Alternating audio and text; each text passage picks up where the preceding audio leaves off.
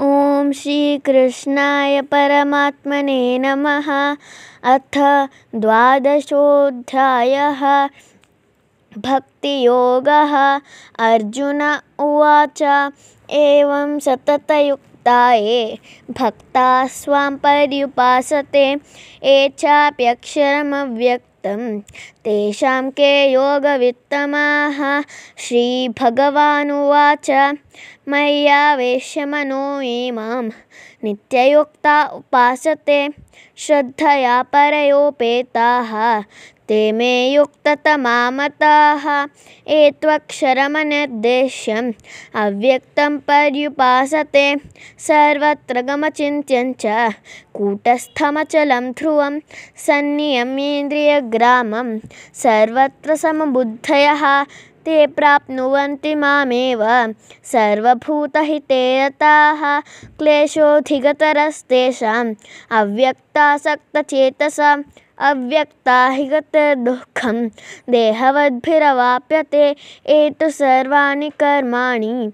मयि सन्न्यस्य मत्पराः, अनन्येनैव योगेन। माँ ध्यायन्त उपासते तेषामहं समुद्धर्ता। मृत्युसंसारसागरात् भवामि न चिरात् पार्थ। मय्यावेशितचेतसां मय्येव मनाधस्व मयि बुद्धिं निवेशय निवशिष्यसि मय्येव अत ऊर्ध्वं न संशयः। अथ चित्तं समाधातुं न शक्नोषि मयि स्थिरम्। अभ्यासयोगेन ततः मामिच्छाप्तुं धनञ्जय। अभ्यासेऽपि समर्थोऽसि। मत्कर्म परमो भव मदर्थमपि कर्माणि। कुर्वन् सिद्धिमवाप्स्यसि अथैतदप्यशक्तोऽसि कर्तमश्रिता सर्वर्म सर्वकर्मफलत्यागं ततः कुर्यातात्मवान् श्रेयो हि ज्ञानमभ्यासात्। ज्ञानाध्यानं विशिष्यते। ध्यानात् कर्मफलत्यागः। स्यागात् शान्तिरनन्तरम् अद्वेष्टा सर्वभूतानां।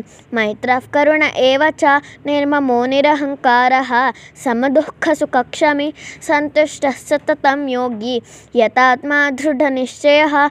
मयि अर्पितमनो बुद्धिः। यो मद्भक्तः मे प्रियः। यस्मान्नो द्विजते लोकः, लोकान्नो द्विजते च यः हर्षामर्षभयोद्वेगैः मुक्तो यः च मे प्रियः अनपेक्षश्चुचिर्दक्षः उदासीनो गतव्यतः, सर्वारम्भपरित्यागी, यो मद्भक्तः स मे प्रियः।